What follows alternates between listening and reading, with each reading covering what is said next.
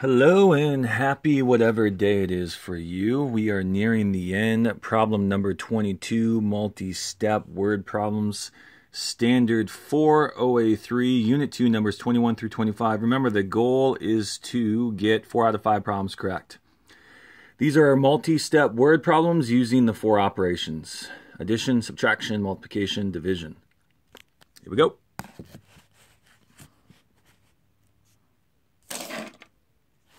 And the problem is cut off just a little. Let's hope that it will hold. Oh, so close. Let's just write that word up there so you can see it. This is teacher. Number 22, Math Grade 4, Unit 2, 2019 2020 20. Practice problems 4 OA3, numbers 22 through 25. Again, we are near the end. Welcome to the finish line of this marathon. A teacher gives five students. Let's just pull out those numbers right away. Remember, this is math. You are dealing with numbers. Add, subtract, multiply, divide.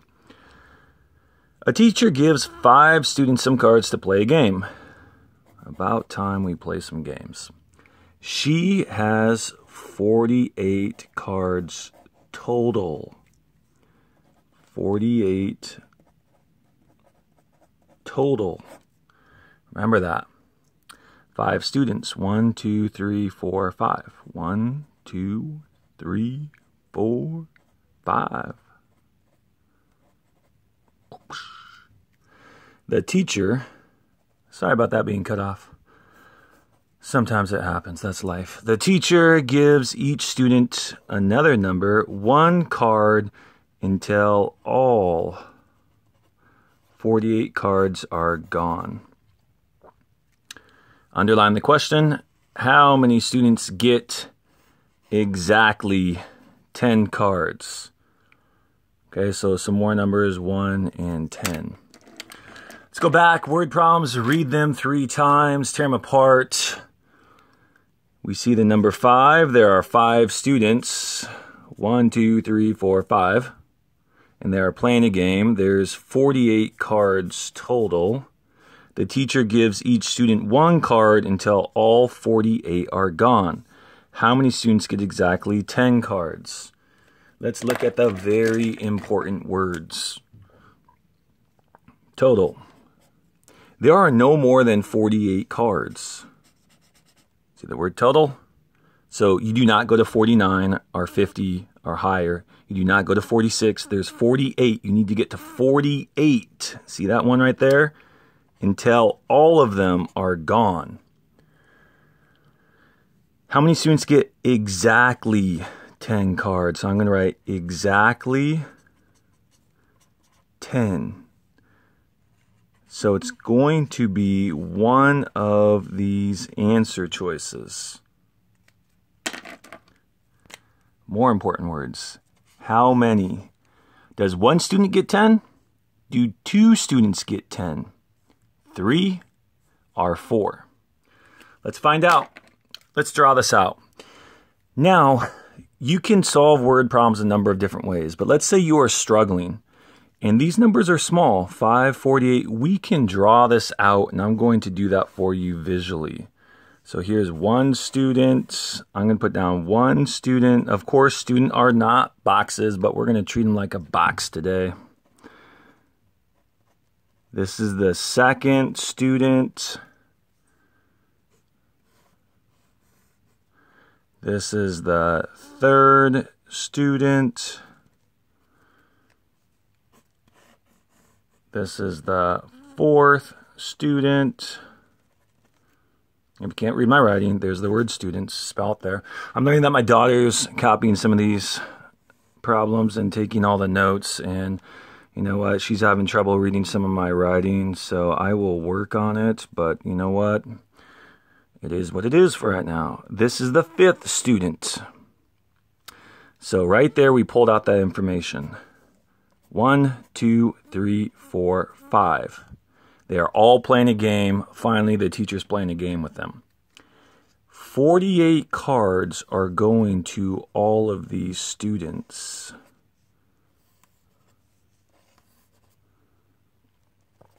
Okay. They're going to student one, two, three, four, five. Now, here's one way of solving it. I wanted to do this visually. Could you set up an equation and solve this much faster? Probably. And use those tricks from your math teacher. But visually, this is what's going on for me at least. There are five students, 48 cards are given out. We need to get rid of all of them. So watch this. This is how it works. Teacher gives out one card to each student. Right now, that would be five cards. One, two, three, four, five.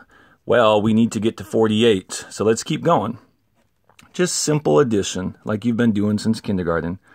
Another card is given to each student, and I'm just representing each card as tally marks. So right now, 10 cards have been distributed. You can see 2, 4, 6, 8, 10. 5 plus 5 is 10. Let's just keep this process going until we get to 48. Another card is given. Now we have 15. I'm going to go down here because I don't want it to get cut off. Let's give out five more cards. So this teacher's just dealing out this deck of cards. Let's give another five. Now, once you get going, do slow down and make sure that you're doing it correctly. 5, 10, 15, 20, 25. 5, 10, 15, 20, 25. Are we at 48 yet? No. Let's keep passing them out. Let's give out five more. And here's where your multiplication comes into play too. What do I mean by that? Right now, there are five students. Every student has seven cards. 5 times 7 is 35. I'll write that over here. 5 times 7 is 35. Is that 48? No. We need to keep going. Let's double check. 1, 2, 3, 4, 5, 6, 7. 7 times 5 is 35. Let's keep dealing out the deck of cards. 1, 2, 3, 4, 5. We have 5 more. Okay, let's do another round. 1, 2, 3, 4, 5. We have to be getting close. Let's see. 1, 2, 3, 4, 5, 6, 7, 8, 9. 9 times 5 is 45. We are so, so close. We need to get to 48. How do I get to 48? 45 plus 3 is 48. So when the teacher does the last round to get to the total 48, she's only going to give it to student 1. Mechanical pencils are awesome. Or pencils with lead, but then they break, right? And you saw that live two, one, two, three. One, two, three. How many students get exactly 10 cards? Student 1, Student 2, Student 3.